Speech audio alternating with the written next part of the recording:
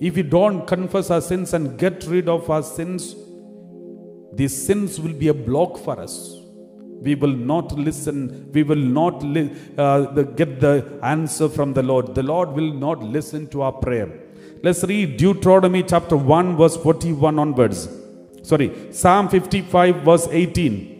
Psalm 55, verse 18, we read like this He will redeem me He will redeem me unharmed, unharmed from the battle that I wage. from the battle that I wage. For many are arrayed against me. For many are arrayed against me. Praise the Lord. Praise the Lord. Thank you, Jesus. Thank you, Jesus. Let's read Isaiah 59, verse 2. Isaiah chapter 59, verse 2. Let's read this word of God. Rather, sorry, let's verse, uh, verse 1 and 2. We read like this. Verse 1 and 2.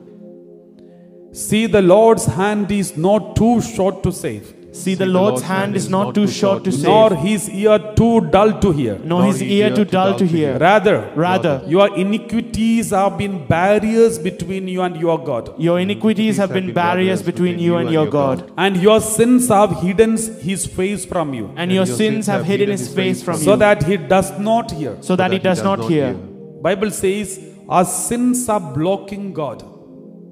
Because of the sins, our prayers are not heard. Because our prayers doesn't reach heaven. So the confession is a must before you confer prayer. Everyone really wants to pray and everyone wants your prayer to be answered. Make sure that you go for confession and get rid of every iniquity from your heart. Confession is a must if you really want blessings and answers from heaven. We need to confess our sins and get rid of our sins. God has given us a wonderful sacrament where we can cleanse ourselves with true repentance and get the absolution of the forgiveness through the sacrament of confession. Why don't we use it? If you use it, it is going to bring miracles in your life. Your prayers will be answered.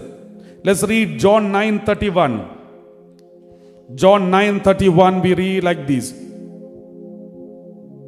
We know We know that God does not listen to sinners, that God does not listen to sinners, but he does listen to one who worships him but he does listen to one who and worships obeys him his will. and obeys his will. We know We know that God does not listen to sinners. that God does not listen to sinners. My dear brothers and sisters, we all know the whole world is sinners. We are all sinners. Then, if Bible says we know that God does not listen to sinners, that means God will not listen to any one of us. But the same God who said God doesn't listen to the sinners has given us the sacrament of confession where you can get rid of the sins. And that is why he is asking us to go for confession.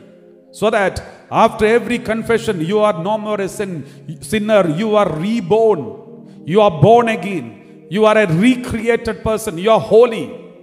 And then when you pray, your prayer will be heard.